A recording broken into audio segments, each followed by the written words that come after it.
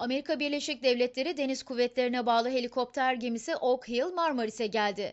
Marmaris Limanı'na sabah saatlerinde yanaşan 51 Borda numaralı askeri geminin 700 görevli personel taşıdığı ve 6 gün Marmaris'te kalacağı öğrenildi. Çok sıkı güvenlik önlemleri altında Marmaris'e gelen Oak Hill, helikopter gemisinin Marmaris'e ulaşması sırasında hava ve deniz yüzeyinde emniyet çemberi oluşturulduğu, geminin demir atmasından sonra etrafında da güvenlik önlemi alındığı gözlendi.